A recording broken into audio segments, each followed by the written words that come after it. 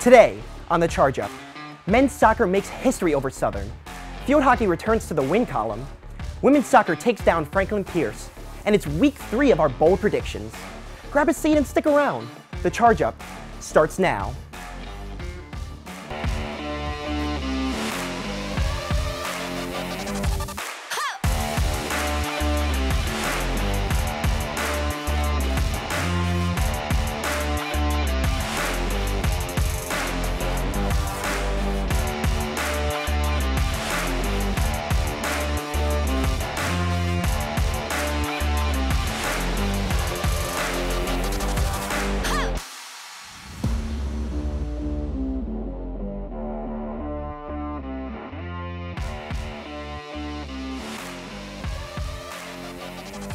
Montana goes like the sweet life.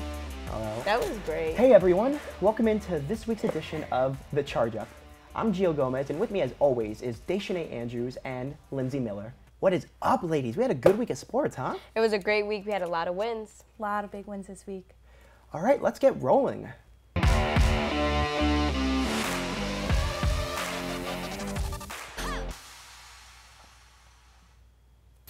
Volleyball hosted a three-team tri-match this weekend, falling to Le Moyne College in five sets in the opener, before taking down Mercy College three sets to one in the nightcap. The Chargers are now 9 and 6 and sit in fifth place in the Northeast 10 conference standings. What did you see from the Chargers this weekend, and what can the team do to move up in the conference? Well, I can definitely say that the team is definitely showing great like chemistry with each other. They're learning how to work with each other. They're learning how to play together as a team, and I think as as long as they keep doing that, I think that they'll keep racking in wins. They actually had three games this week. Um, they won against Bridgeport and Mercy, but then they fell to Le Moyne, and that was kind of interesting because they've been on such a nice win streak for the last few games. But you know, the game was back and forth all game. It was New Haven, Le Moyne, New Haven, Le Moyne, and then uh, they just at the end they couldn't hold on for the win. Well, you know, they've had a streak, and every you know, a streak's got to end at some point. But the fact that they've still had a you know good win in there and a winning record in that is still good. Might be able to Um, bring them back too and take away a little bit of their confidence, so they actually don't get overconfident and actually have that end up hurting them. That's good. That's true. Mentioning with what you're saying with the team chemistry, a, a good thing that they're doing is, is spreading the wealth. You know, there's not just one player that's big star that's taking over, Right. that's getting all the attention. Each week, everybody's working together really, and and you know, each working together as a unit instead of just like one one big player. So Completely agreed. We have Kaylee Greathead, which had a career high of 29 digs versus Mercy. And I think she's really also racking in and helping with that same team chemistry. Speaking of career games, Sammy Bagia had a career game, a career high, you know, 31 assists. So that's really good. I'm, I'm just thinking, you know, you come on the show, you get interviewed. I mean, who knows? It's looking pretty good for them. So Yeah, she definitely puts up some big numbers for a freshman. I can definitely say that. with freshmen stepping up like that, it's no wonder they've been having such a good streak. Right. I'm hoping to see more wins come out of them for sure. Oh yeah. Volleyball will close out a five-game homestead Tuesday when they host Pace University at Charger Gymnasium. First serve is scheduled for 7 p.m.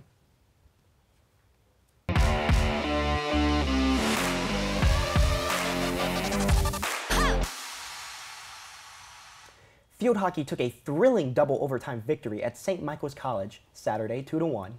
The Chargers are now 5 and 8 overall, but with all five wins coming against conference opponents, the team stands in fifth place in the Northeast 10. How can the Chargers continue to build momentum heading into the later stages of the regular season? I think even though they're a new team, they're definitely making their mark in the NE10 conference. I think whatever they're doing, as far as even if it's going over game footage and like figuring out what's right, what's wrong, what's working, whatever they're doing, they need to keep that same momentum in the conference and they can continue to make their mark. And I think that the little stuff that they are improving on and have been working on in practice and stuff is really paying off for them. Um, you can see it in their win against St. Michael's. They won that in overtime, two to one. So that just showed that they really were there to play and they wanted to fight and they really did want that win and they ended up getting it. Yeah, especially overtime victories. You know, it's not just physical; it's a lot of mental and emotional. You know, not just giving up. So the fact that they won that, it's a it's a big deal. And you know, they might have trouble with ranked opponents, but they're winning the games they need to win with conference. They have five conference wins right now, so that's pretty good. So if they can just continue winning the games they have to, I I, I, I think they could do pretty well. And maybe it's not a year for them to win the conference, but you know maybe it's a great building year for them where they can set that structure for themselves so that in future years that they can come out and they can win the conference and do other stuff like that. It's something to build off of. So definitely the fact that now the momentum is picking up for them. Now they realize, okay, this is what we have to do to win. This is what we don't do and stuff like that. I think that that's really helping them. So we we look forward to seeing what comes out of this team. Yeah, like you said, they're a new team. A lot of new teams or rebuild teams, you know, they take a while to really build up and get there. So you don't expect championship wins immediately from a, a brand new team. But the fact that they're finally gaining that momentum and making conference wins, that's good. You know, it's it's a promising sign. And maybe they won't win it this year, but the next year, the year after that, that might be. You know, I hope they do win, Uh, just yeah, to of make course. that, just, Yeah, obviously. just to Yeah, make that mark I'm not as a saying they- new just team. playing that they won't. But, you know, Right, but I think it would be like spectacular if they do win and make that mark as a new team, especially showing other teams in the school that as a new team, this is what they're still bringing to the table. I think it'll be great for UNH. I definitely agree. Field hockey will return to Ralph De- DellaCamera Stadium Wednesday when they host St. Thomas Aquinas College at 1 p.m. The game against Stack will be the Chargers' breast cancer awareness game as well.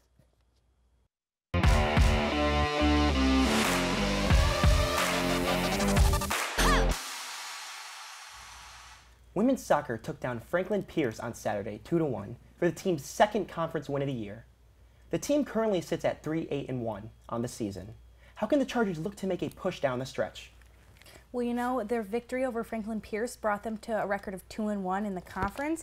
And if you look at their conference record, things look to be going good for the Chargers. I mean, that's not looking at their entire record, but I mean, and like we've been talking about for like the last 2 weeks, they weren't taking any shots on goal. This last game against Franklin Pierce, they took 18 shots on goal and scored 2 goals. So there you go. Let's keep pushing the ball down the field and getting the ball toward the net, not even just in the net, but just keep taking those shots and keep opening those doors for opportunities for themselves. I definitely have to agree with her when she said about taking the shot and just moving the ball down. I think now that they're taking possession and not working so much on their defense but on their offense, I think it's really helping with the scores, and we can see that.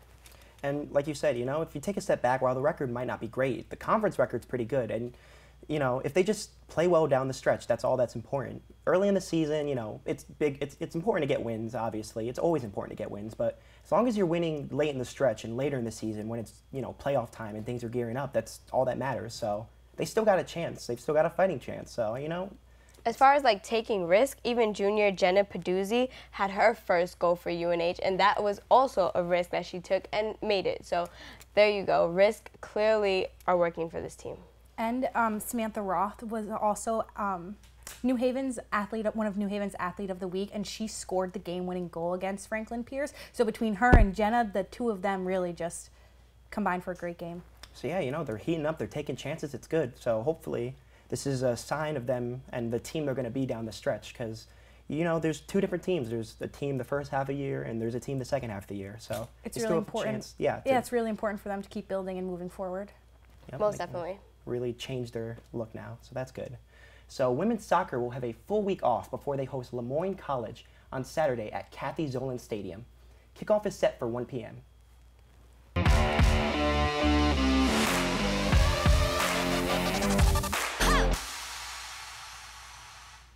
Men's soccer made history last Wednesday when they took down crosstown rival Southern Connecticut State University 2 0 at home. The win was the first victory over Southern since 1984 and the first conference win in 2019. How can the Chargers look to keep winning this week?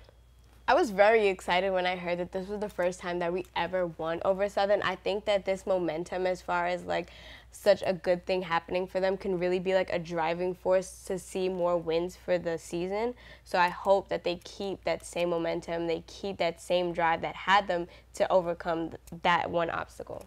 I definitely think that part of the drive that came for that game for them was the fact that their head coach was, we talked about this last week, was the coach at Southern Connecticut before he coached at New Haven. So I think that the boys were all fired up and ready to go for that game just because they knew what the stakes of that game were. Yeah, that's a good point. Hopefully they can coach like that and get that same motivation from games that aren't that personal. You know, it's important to be that driven up all the time, not just for you know, personal games, but for games that are nothing or games that against other opponents. It shouldn't just be like we're playing against a team that means something to us, so we're going to play better than usual. It should always be like that. Right, and I think next week they're playing Post, and our history with Post is that we've had 12 wins against them, but our last one was a loss. So I'm hoping that they take the drive from winning against Southern and use that same drive to keep that momentum and win against Post. I mean, this game against Southern shows that they definitely do have the drive within them to be a great team, but they just need to figure out how to keep bringing that for their next games.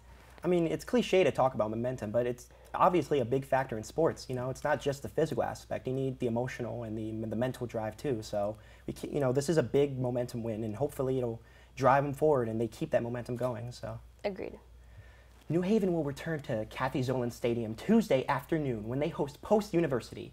Kickoff in this non-conference bout is scheduled for 3.30 p.m.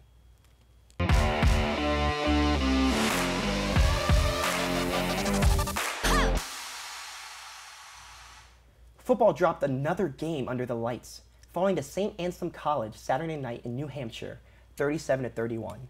With the loss, the Chargers fall to 3 and 3 on the year and 2 and 2 in conference play. What went wrong for the Chargers and how can they look to bounce back? I really think that the Chargers are going through a bit of a change and getting used to the change with having um, different quarterbacks and trying to figure out like the feel of the game. So I think that if they just keep playing and keep practicing and keep working to build that team chemistry, then we can see that resulted on the field. I also feel like at this point they need to make a decision about a quarterback, though. They need to either work with one or the other, but I feel like this going back and forth thing for them is very confusing for the rest of their offense. I mean, last game, Christian Lupoli did have a good game. He was 17 for 30 and totaled for 247 passing yards, so he had a pretty good time, time connecting and stuff, but um, they, they let a lot of um, touchdowns in in the fourth quarter, and that really hurt them. Yeah, quarterback controversies are never really good. You know, you need – a quarterback, uh, one set in place to either have them lead the team or rally around. It's not good to keep switching back and forth because then that not only switches, you know, the dynamics because two different quarterbacks, two different play styles, two different ways you call the plays. So like you can't keep switching back and forth. You, have, yeah. you do have to make that decision. Right. I'm very excited about this next game, though. It's against Southern. We have a, a, history of winning against Southern, but as of right now, Southern and New Haven have the same hold in the conference, the same um, conference record. So I hope that we can keep that energy that we have with Southern on winning for this next game because we really need it. I definitely agree. You know, earlier I talked about with field hockey winning the, that they were winning the games they had to, and I feel like a problem with our football team right now is that I don't know if it's just the team's not the heads are not in the right place or just they're having trouble during these games, but it seems like they're not winning the games they should or the games that that seem like they don't matter to them. Like this team, they that they just lost to hadn't even won a game yet. And we should have done way better than we did, but we just kind of let it slip. So I think that's, I don't know if that's a, a talent thing or a mental thing, but hopefully we can start winning the games that we should win and not play down to our competition. I definitely think it's a mental thing for them though because they have again proven themselves and showed that they can step up and they can be components in this big game in these big games, but they just don't seem like they're really into it in the last few games. Hopefully they can figure out a way to get themselves out of this little like bubble that they're in and push forward to the future. Agreed. Yeah, last week I mentioned they were a first half team and again it kind of reared its head. So hopefully these last two losses will really jog, jogger their heads and make them, you know, want to play harder and prove themselves. Definitely. So football will return to the field this Saturday when they make the tr short trip to Southern Connecticut State University for the 2019 installment of the Elm City Rivalry. Kickoff is set for 2.30 p.m.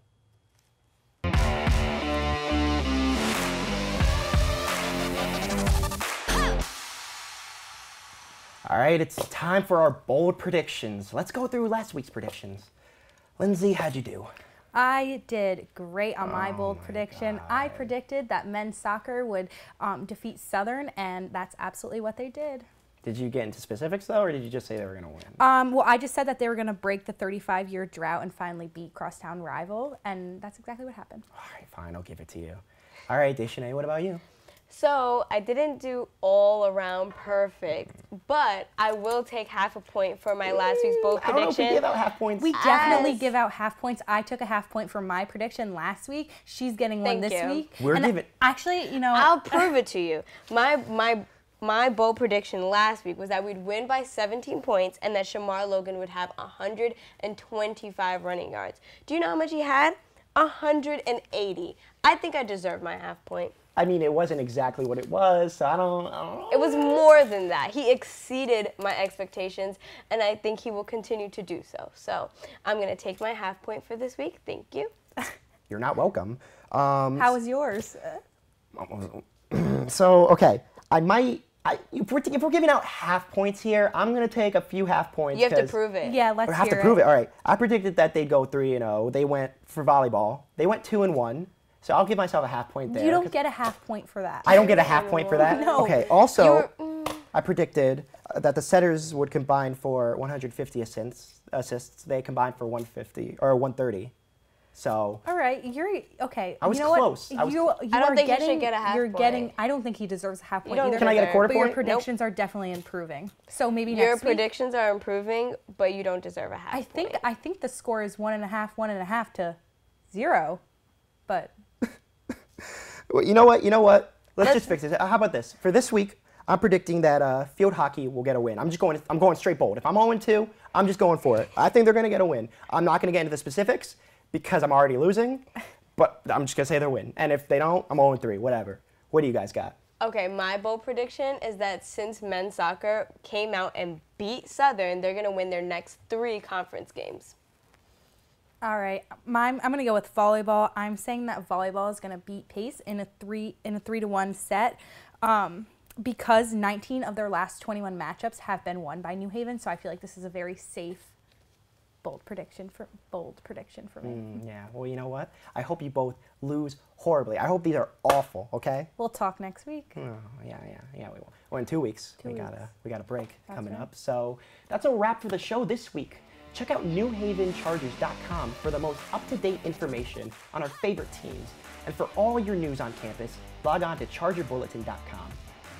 I'm Lindsay Miller. I'm Deshane Andrews. I'm Gio Gomez, and we'll see you next week on The Charge Up.